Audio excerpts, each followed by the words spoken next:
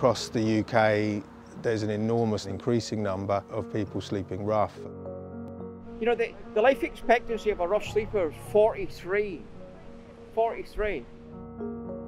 When it's like this, it's really cold. It's a nightmare.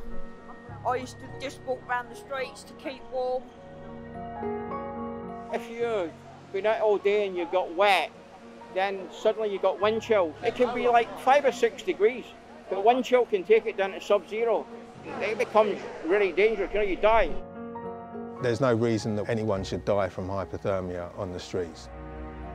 When I designed SleepPod, I had a list of ideas that I needed to tick boxes on. It had to be light, easy to put up, easy to put away, easy to carry. The main principle is your own body heat once you get inside the sleep pod self-warms the sleep pod. This is the front door. You climb inside the sleep pod's feet first and then once you're in, pull the front door up and there's Velcro on both sides which then keeps you nice and warm. One of the key points to keeping Sleep Pod cheap is by using teams of volunteers to actually build the sleep pods and put them together.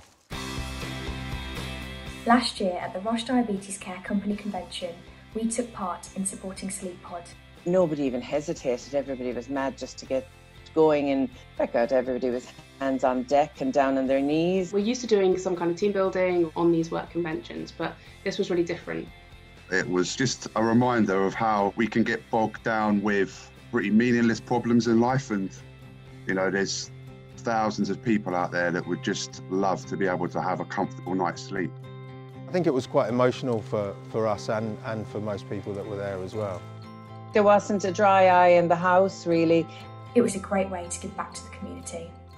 Ross was really special because we also had Jim from Brighton who was receiving the pods that we built from Roche. He was able to engage and talk a little bit about the necessity and the need for what we were doing.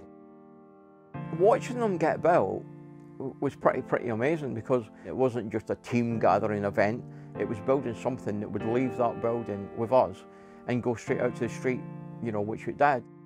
On the first weekend, we had a storm. It was so cold, we managed to go out and, with hot drinks and sleep pods.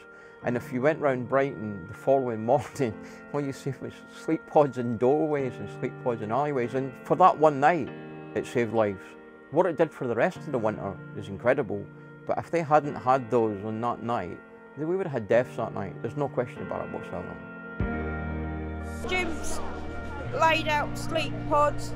They're really thick. They're like basically like a really thick coat. The guys have been using them non-stop and we get them back and we fix them up and we hand them out.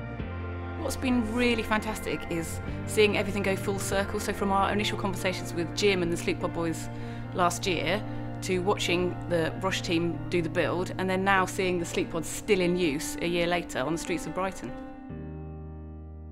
Seeing the changing world that we're living in and the increased problems that are coming about, we really need help first of all with, with building the pods and we also need the financial support as well through our fundraising. Please support this great cause by sharing the fundraising information from the Sleep Pod website or get into contact with them directly to get involved in another Sleep Pod build session.